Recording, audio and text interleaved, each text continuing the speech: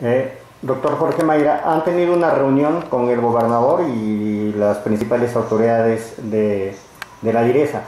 ¿Hay algunos ya acuerdos este, que se han tomado? Eh, sí, un cordial saludo a todos los, que nos siguen eh, y nos escuchan. ¿no?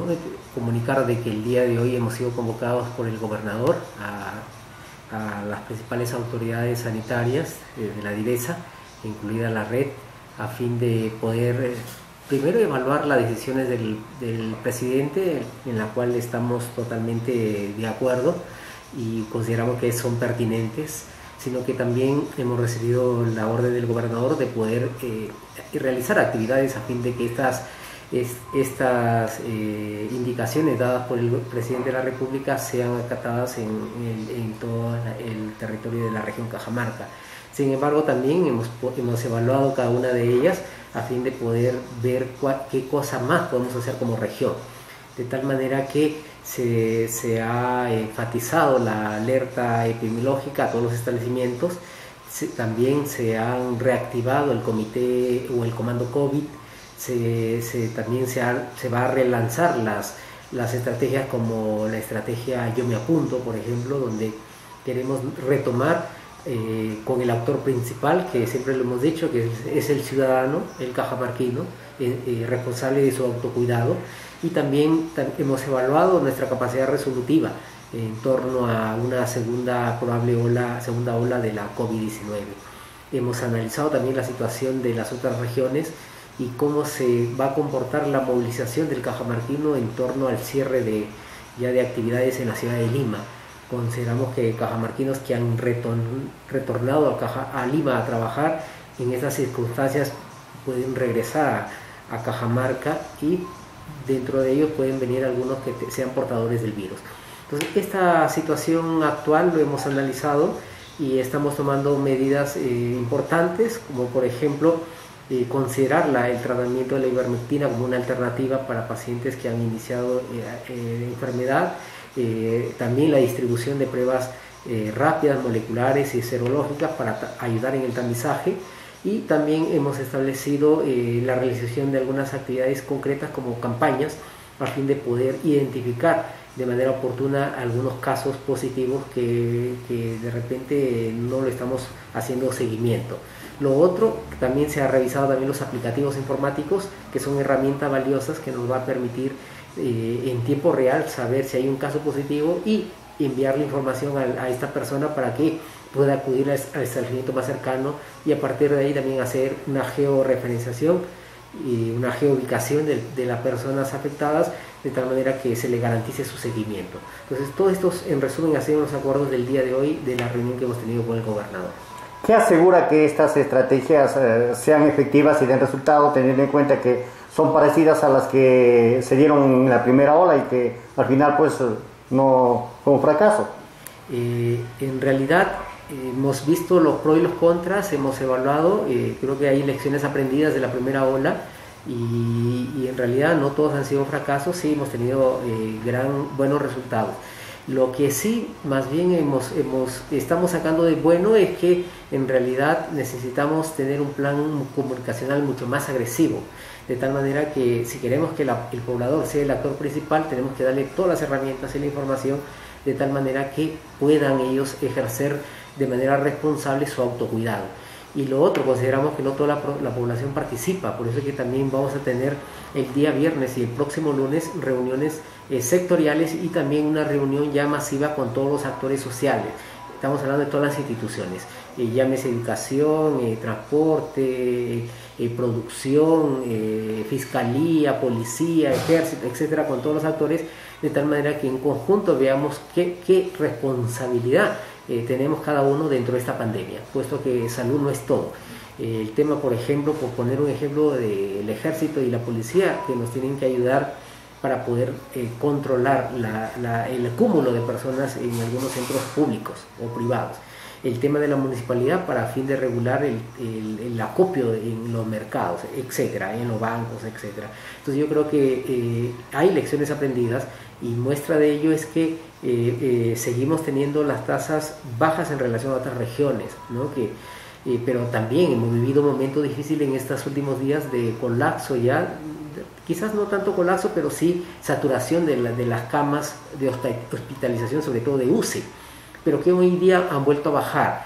Entonces no, no, no podemos decir que ha colapsado porque estamos ahorita en capacidad, pero que en algún momento puede colapsar. Entonces lo que queremos es no llegar a, decir que hemos colapsado. ¿no? Entonces para ello vamos a hacer actividades de tal manera que las personas que se enfermen no lleguen a, a fallecer. Entonces hay una también diferencia entre casos de enfermos con casos fallecidos. Si comparamos, los números fallecidos no se han disparado en, base a la primera ola. Los seguimos manteniendo todavía en niveles bastante bajos, con excepción del último sábado que hemos tenido eh, eh, ocho fallecidos. ¿no? Entonces después tenemos, seguimos otra vez en, en 3, 1 y esperemos tenerlo en esos niveles, de tal manera que podamos tener la capacidad de poder atender a todas las personas que, que realmente necesitan de la atención especializada.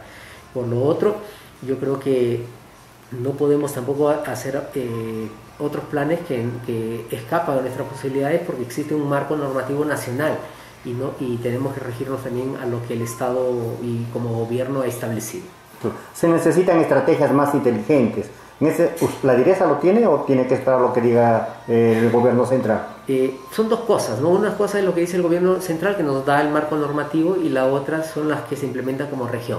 Entonces yo creo que no hay, no sé, salvo que hubiera otra más, pero eh, estamos implementando el, eh, reactivando el yo me apunto, pero con una forma de estrategia mucho más directa en, relación al individuo. Y la otra, como le digo, es, es tratar de contener a las personas evitando que hayan reuniones sociales, pero a veces entenderán que, que eh, no solamente es responsabilidad de la derecha, sino es un trabajo multisectorial.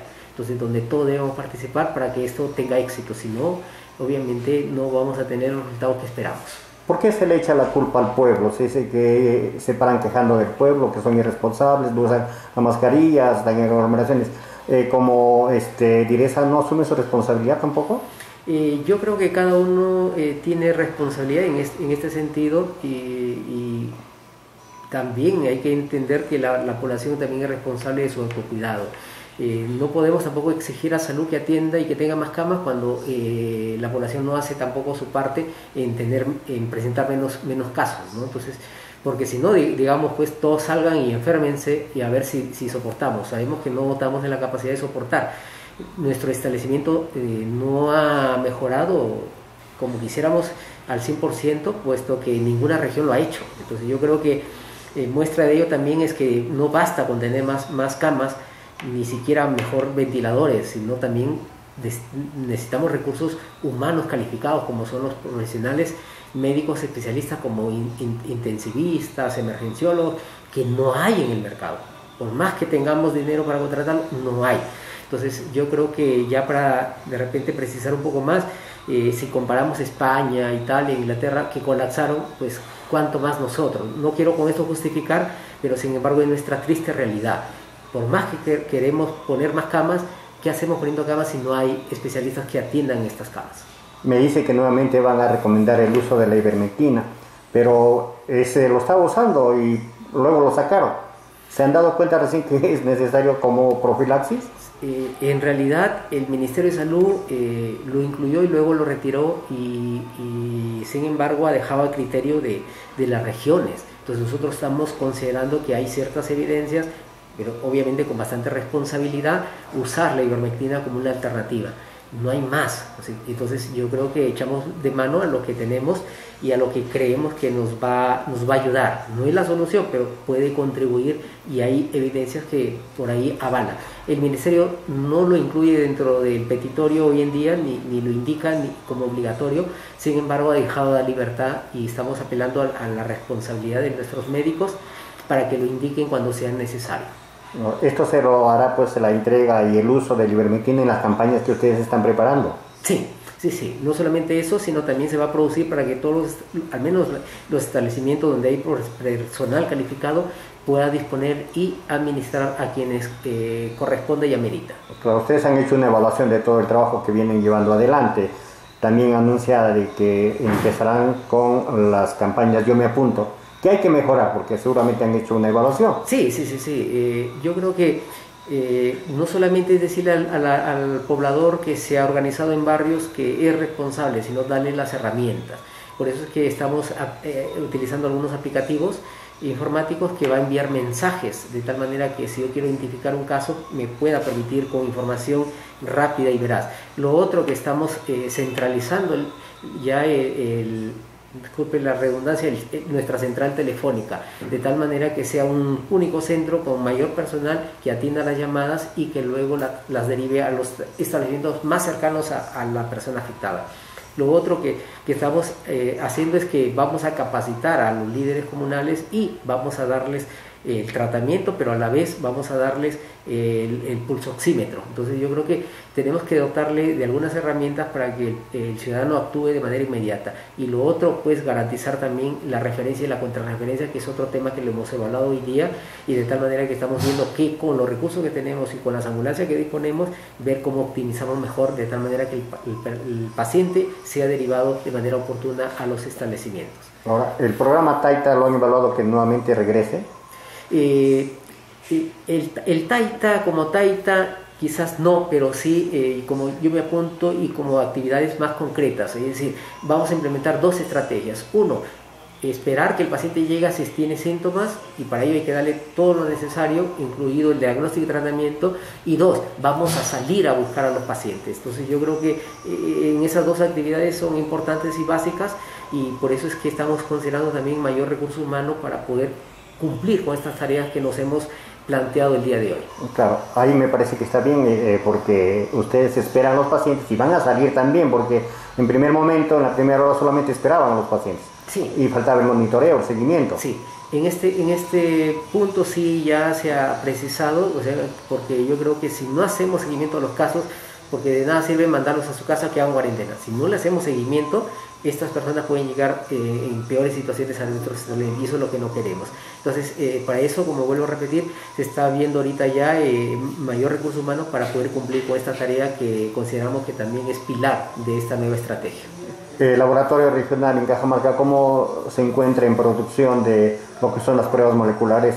También las otras pruebas, las rápidas, las antígenas. Sí, en la primera ola contábamos con una herramienta diagnóstica que era la prueba rápida. Después se sumó la prueba molecular y hoy se está sumando las pruebas antigénicas.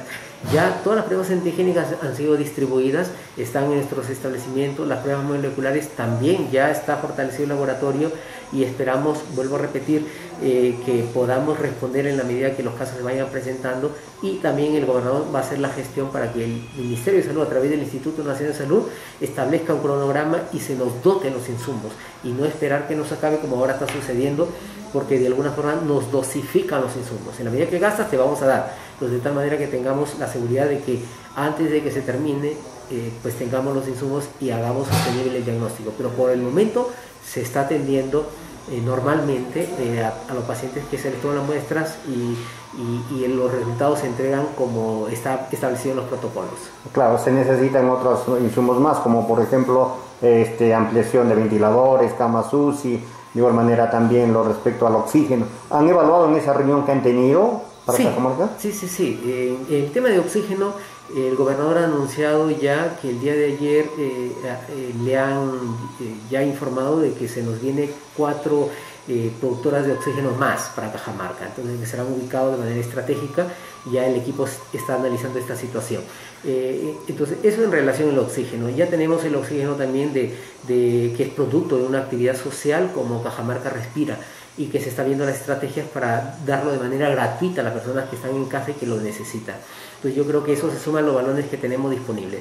En relación a las camas y a los ventiladores, eh, ya tenemos también un incremento, pero vuelvo a repetir, la estrategia que estamos utilizando es capacitar a médicos generales para que puedan eh, apoyar en estas unidades, puesto que, vuelvo a repetir, no hay médicos especialistas en todo el Perú, no podemos traer eh, porque no existen más. Entonces, y eso es una debilidad, digo yo, del Perú como Estado, pero también de, Cajamarca que, tiene, eh, que, sufre también esta escasez de profesionales especialistas. según los datos oficiales que la directa envía al Ministerio de Salud, lo, lo clasifican a la región Cajamarca en alto riesgo. Eh, esto es por los contagios que se están dando y eh, de repente estamos en, en, esa clasificación o, o, debemos entrar a una cuarentena total? No, eh, en realidad esta clasificación que también hoy día la hemos evaluado y que de alguna forma hemos respaldado, está en relación no al incremento de casos comparados a otras regiones, que todavía estamos en capacidad de atender, sino que tenemos una población que no se ha infectado y que si no tenemos el control pueden ingresar personas con probablemente con nuevas variantes y pudiéramos eh, puedan informar a muchas más personas. Entonces, estando cerca regiones que ya tienen incremento de casos y la movilización que puede haber, entonces nos pone en un lugar de alto riesgo. Por eso que hemos sido clasificados, no porque tenemos muchos casos o porque se mueren muchos, no estamos todavía en esta situación, pero puede ocurrir. Y si no tomamos estas medidas, eh, de seguro que en, pocas semanas vamos a estar en, en realidad en, un alto riesgo y con muertes que vamos a estar lamentando. ¿En el Perú ya estamos con una nueva cepa? Eh, no, no hablamos de cepas, sino de variantes. Y hay que entender que esto ya es, es se esperaba. Todos los virus respiratorios cambian cada año que varía, mejor dicho. Entonces tienen ciertas variaciones genéticas que, dan un comportamiento diferente. Por eso es que la vacuna, por, poner un ejemplo de influenza, cada año nos vacunamos. ¿Por qué? Porque hay una variante nueva. En el tema del coronavirus, eh, del COVID, que causa la COVID-19, el, virus se llama SARS-CoV-2, hay que, hay que considerar que ya estamos a puertas de un año y por lo tanto el virus ha variado, ha cambiado.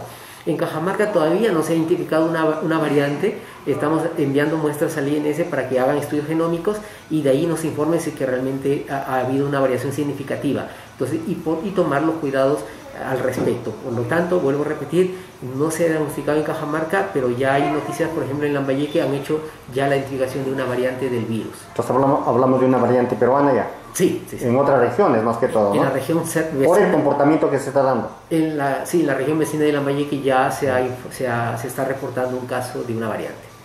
Ok, muy amable doctor. De nada, un gusto.